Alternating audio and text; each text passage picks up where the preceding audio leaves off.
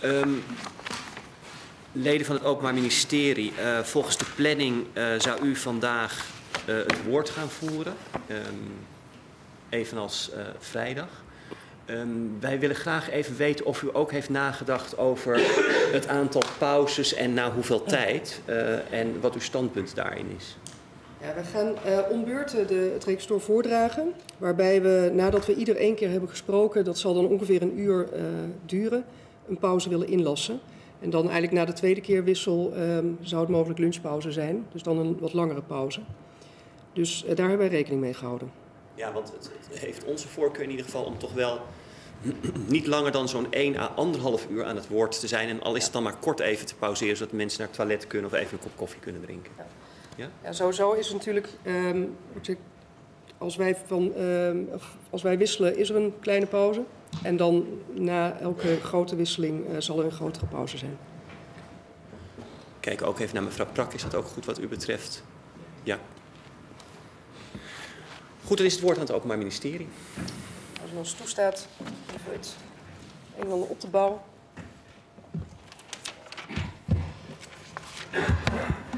Heeft het OM, heeft het, OM het requisitoor op schrift, voorzitter? Het OM heeft het register op schrift. De griffier krijgt daarvan een exemplaar die mijn collega zal geven. En u krijgt, evenals de rechtbank, eh, na afloop een exemplaar. We hebben ook een exemplaar van meneer Dat, lijkt mij niet juist. Op het moment dat u iets aan de griffier overlegt, dan zou de verdediging daar een kopie van moeten krijgen. De griffier moet eh, beoordelen of wij eh, datgene voordragen wat wij voordragen. En ehm, het is niet ongebruikelijk om pas na afloop aan de overige partijen een versie te geven. Het is zeer ongebruikelijk. Wij zullen het toch doen, Ik denk dat dat aan de rechtbank is. Op het moment als de dat... rechtbank dat toestaat. Ja, nee, ik, Ik laat het even lopen, het woord is nog niet tot mij gericht. Nee, u hebt er, neem ik niet kwalijk Ja, dat ja. dat zo loopt. Maar op het moment dat eh een der procespartijen een schriftelijk stuk overlegt aan de griffier, is er naar mijn mening, eh, eh, sterker nog, eh, heeft de andere procespartij daar ook recht op. Ehm, ik heb uw standpunt al gehoord, maar ik ga het nog even anders formuleren. Want ik begrijp het ook zo dat meneer Moskowitz zegt... is er bezwaar tegen dat ik vast een exemplaar krijg? Er is bezwaar tegen, bezwaar omdat tegen. hij dan ja, vooruit kan lezen en dus al kan weten wat wij gaan zeggen. En dat is niet de bedoeling. Ja, maar, maar dat is aan de orde van de dag, mevrouw de officier, dat dat gebeurt. Ik weet niet hoe vaak u in de rechtszaal staat, maar dat is zo. Ik kan uit eigen waarneming zeggen dat mevrouw vaker in de rechtszaal staat. Maar eh, ik begrijp dat u persisteert. U zegt ik wil graag een, eh, een kopie hebben. Ik zei ook hoe vaak ze in de rechtszaal staat. En ehm, mevrouw zegt ik persisteer ook bij mijn standpunt niet. Ja. Dan zullen wij ons even terugtrekken om ons te beraden.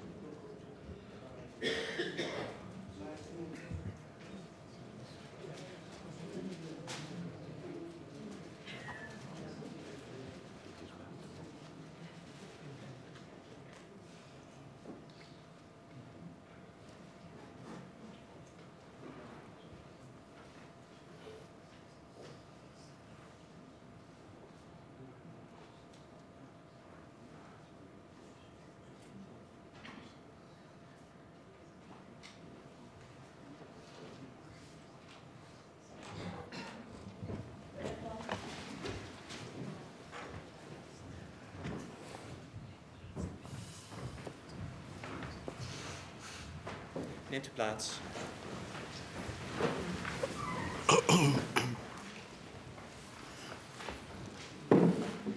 Eh, de rechtbank heeft begrip voor het standpunt van de verdediging. Dat de verdediging zegt, kijk, als aan de rechtbank iets gegeven wordt, dan vinden wij dat wij daar ook over moeten kunnen beschikken. En wij geven er dan ook de voorkeur aan dat u het exemplaar ook nog niet aan de griffier verschaft. We gaan ervan uit dat wat u voorleest, uh, een voorhoud in deze zaal ook klopt met het stuk wat wij van u overgelegd krijgen. Zou inderdaad ook ons volgende standpunt zijn dat we dan niemand wat overleggen en mochten wij afwijken, dat zou heel raar moeten lopen als we dat doen, maar dat we dat dan doorgeven zodat de griffier op dat moment kan meeschrijven.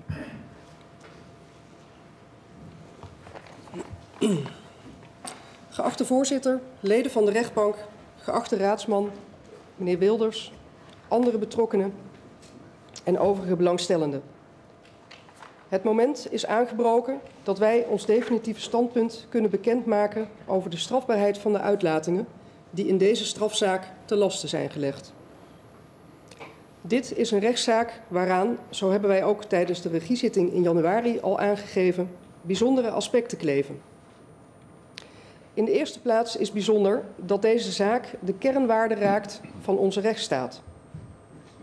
Twee essentiële rechten staan centraal, namelijk het recht op de vrijheid van meningsuiting en het recht om niet gediscrimineerd te worden.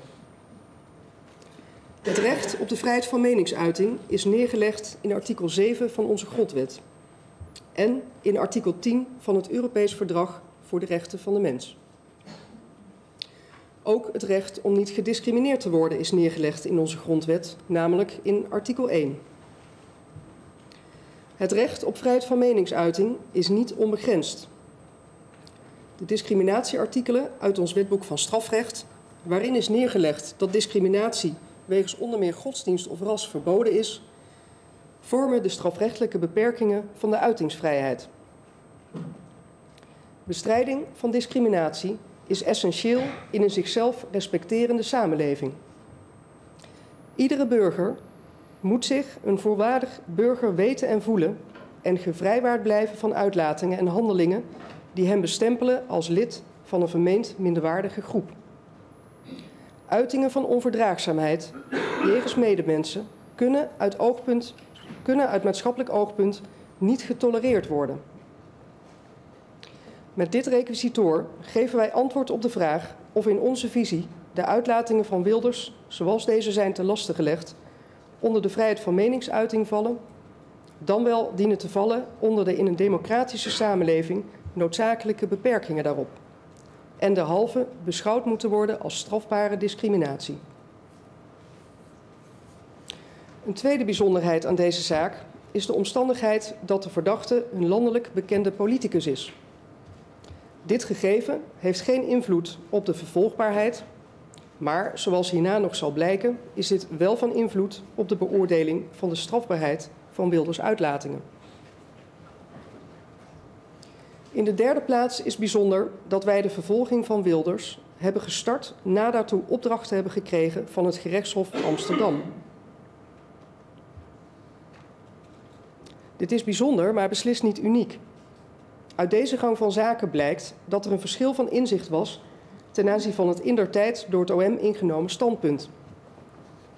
Het OM heeft naar aanleiding van deze gang van zaken zich opnieuw in alle grondigheid, zoals u van het Openbaar Ministerie mag verwachten, gebogen over de strafrechtelijke vragen en zal in het requisitoor zijn definitieve standpunt bekendmaken.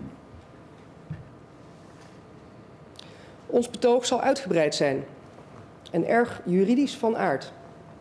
Wij begrijpen dat dit niet voor iedereen altijd even makkelijk verteerbaar zal zijn.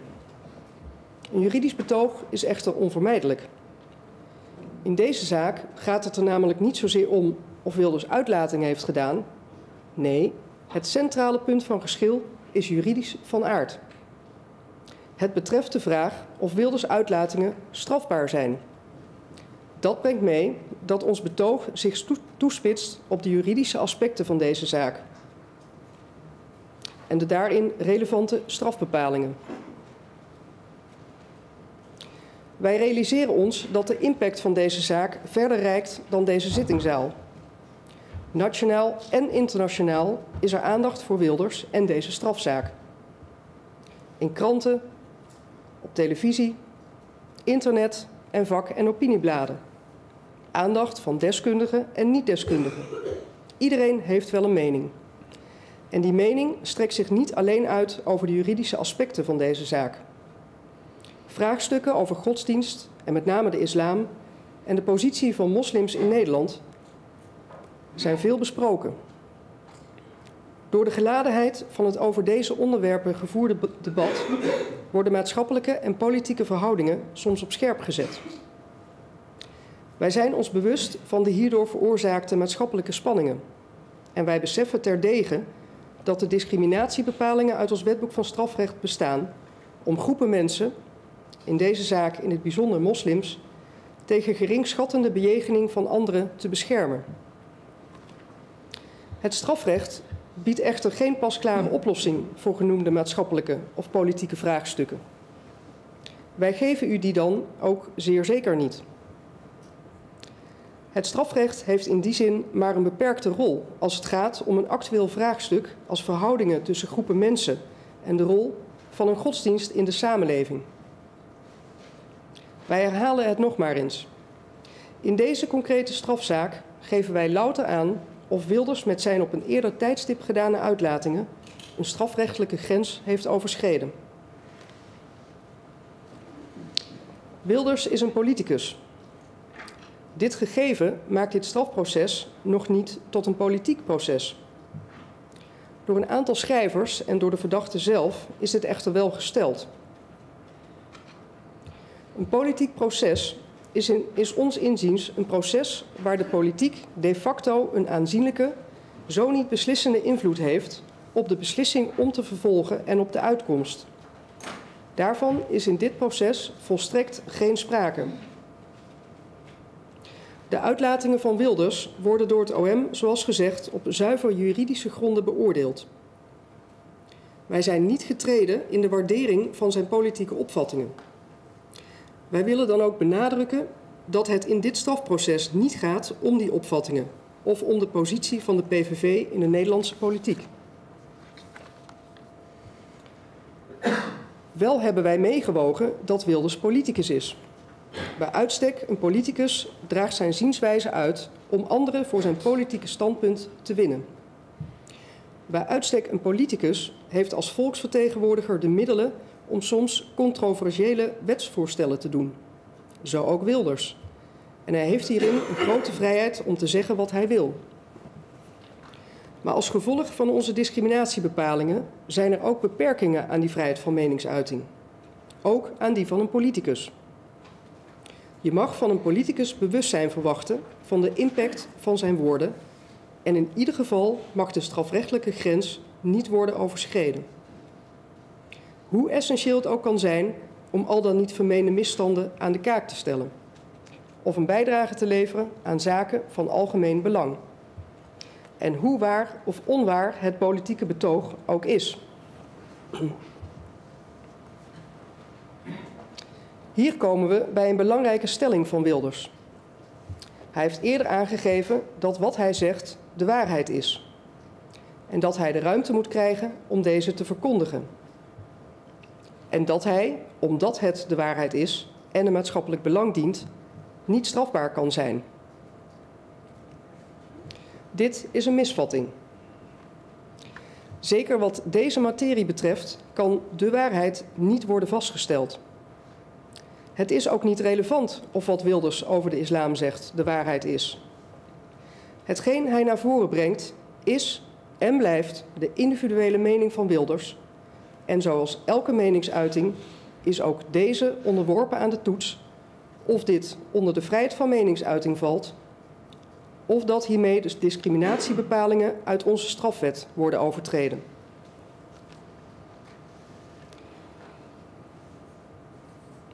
In de beoordeling van Wilders uitlatingen moet op grond van Europese jurisprudentie wel worden meegewogen of zij enige feitelijke basis hebben. Wij benadrukken dat ook als uitlatingen een feitelijke basis hebben, dat niet wil zeggen dat zij de waarheid inhouden. Ook betekent het hebben van een feitelijke basis niet dat uitlatingen daarom niet strafbaar kunnen zijn. Of, voor de duidelijkheid andersom gezegd, ook uitlatingen met enige feitelijke basis kunnen strafbaar zijn. Nu mogen meegemaakt.